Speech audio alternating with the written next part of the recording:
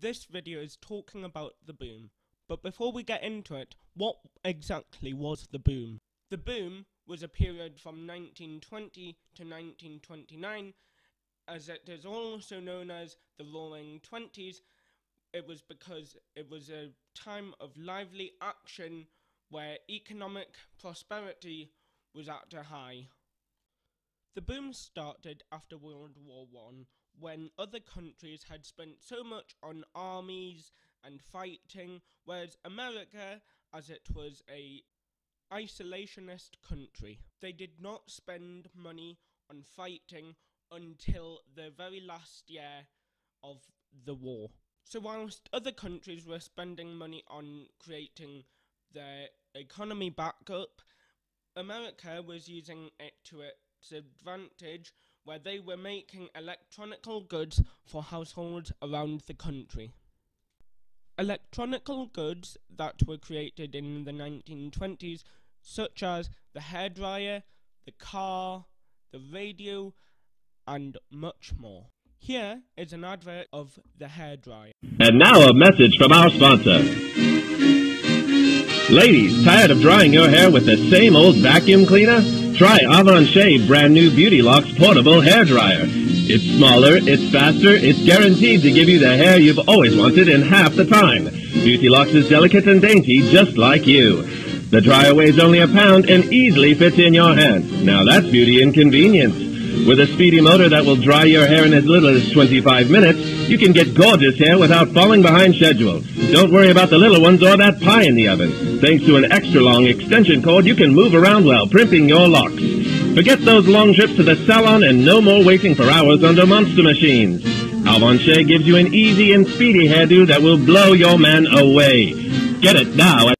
Another reason how America boomed in the 1920s was because people could now pay by credit, where it would pay each month, so people could buy expensive things and then pay later.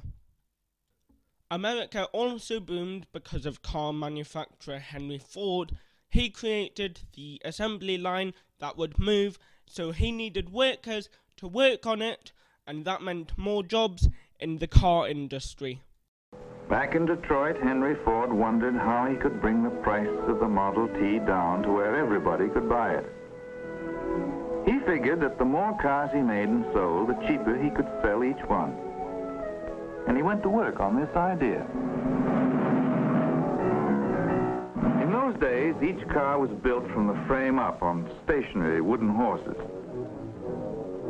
There was a different crew for each car, and the same crew stayed on the car until it was finished. That meant duplication of effort and a lot of time wasted. So they tried moving the men from car to car. Each man had a special job to do, and as soon as he finished it, he moved on to the next car and did the same thing there. That was better, but it still took 12 and a half hours to assemble each Model T. Henry Ford watched it for a while, then he had an inspiration. Instead of moving the men past the cars, why not move the cars past the men? Another reason how America boomed was because of a man called Warren Harding. He introduced the Fordney-McCumber Tariff Act, which imposed a tax on goods from foreign countries such as Germany. This made foreign goods more expensive than domestic goods, and that also encouraged the Americans to buy American products made in America. Although most Americans enjoyed the boom in the 1920s, some people did not experience this prosperity. These groups of people included farmers, black Americans, immigrants, coal miners, shipbuilders, and textile workers. This was because farmers were producing too many crops and couldn't sell them, so prices fell and farmers had to borrow money from the banks to be able to survive. More and more of them got into debt until they eventually had to sell their farms and leave. Many left to go wandering around America looking for any kind of work. Black people also didn't experience the same as many others due to the KKK, the Ku Klux Klan. They were a white supremacist group who were hating against African American black people.